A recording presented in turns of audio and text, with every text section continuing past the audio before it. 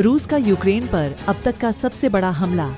122 missile दागी 31 की मौत यूक्रेनी ठिकानों पर रूस ने अब तक का सबसे बड़ा हमला किया है। रूसी वायुसेना की ओर से 122 मिसाइल दागी गईं एवं 36 ड्रोन से बमबारी की गई। इस हमले में कम से कम 31 आम लोगों की मौत हुई है, जबकि करीब एक लोग घायल हो गए हैं। रूस का यूक्रेन पर अब तक का सबसे बड़ा हमला।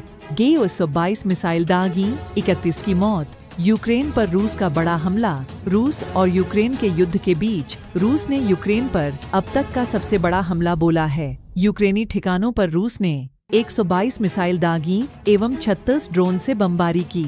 इस हमले में कम से कम इक्यातीस आम लोगों की मौत हुई है। वायुसेना के एक अधिकारी का कहना है कि रूस और यूक्रेन के बीच पिछले 22 महीने से से चल रहे युद्ध में यह सबसे बड़ा हवाई हमला माना जा रहा है।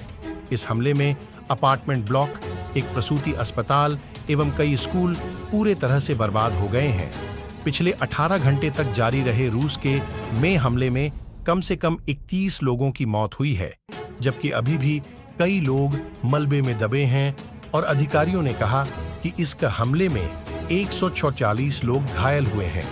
दोस्तों, आपको ए ब्रेकिंग न्यूज़ पसंद आ रही है तो ज़रूर से यह वीडियो को लाइक कीजिए और अपनी राय ज़रूर से कमेंट कर दीजिए।